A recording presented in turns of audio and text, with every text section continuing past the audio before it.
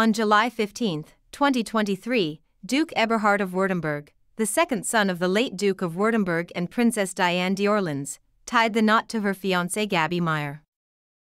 The religious wedding ceremony took place in the chapel of St. Michael Schloss, Altshausen in Germany. During the religious ceremony, the groom was accompanied to the altar by her mother Princess Diane of France. The Princess of France, now 83, was wearing a beautiful bronze dress. She looked elegant. The 60 year old Duke had been divorced since 2016 from her first wife Desiree Copf, whom they have a son, Prince Alexander, 11. The bride, Gaby Maier, 50, was accompanied by her father to the altar.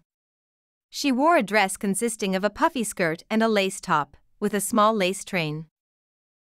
The guests who attended the religious wedding to witness the marriage were around 160 in number. The guests dressed in pomp and color, making the ceremony colorful. Duke Eberhard, the second son of the late Duke Karl of Württemberg, got engaged in late last year to Gaby Maier.